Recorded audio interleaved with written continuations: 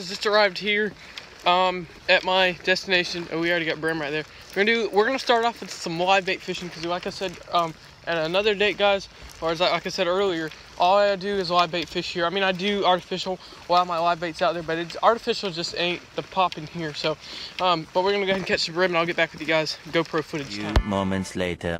I got one on the wall. caffeine shad right here, guys. He, he's not the biggest one ever, but um.